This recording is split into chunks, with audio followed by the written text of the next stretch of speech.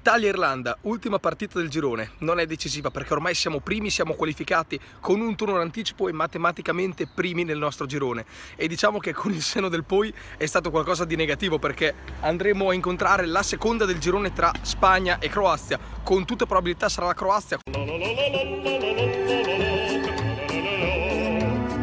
questa sera, di quando sto registrando il video, ci sarà il big match, proprio lo scontro diretto e sapremo chi andremo ad incontrare noi. Comunque è un torneo talmente corto che tanto vale prendere subito delle squadre grosse per mantenere alta la pressione, per mantenere alta la concentrazione. Quindi io credo che l'Italia abbia fatto un'impresa vera e propria ad arrivare prima del girone e che sia stato meritatissimo perché la prima partita con il Belgio è stata, la conosciamo tutti, l'abbiamo vista tutti, una partita fantastica. Invece la seconda con la Svezia è stata meno bella ma siamo riusciti a essere molto attenti, non abbiamo praticamente praticamente mai subito un tiro nello specchio della porta. L'unico tiro che ci ha impensierito è stato quel bolide Ibra che è stato lanciato sulla Luna, che ricorderemo tutti tra l'altro in fuorigioco però tutti i meriti vanno ad Antonio Conte e alla sua nazionale. Ora, con un turno d'anticipo, la qualificazione in tasca, il primo posto matematico, possiamo anche fare qualche esperimento, possiamo permetterci di far riposare diversi giocatori che hanno giocato dall'inizio tutte le partite e anche quelli diffidati, quindi mi aspetto di vedere qualche cambio, qualche faccia nuova, anche perché abbiamo tantissimi giocatori di talento come Zazza, come Insigne, come Bernardeschi, come il Sharawi, che hanno visto poco il campo o comunque quasi mai,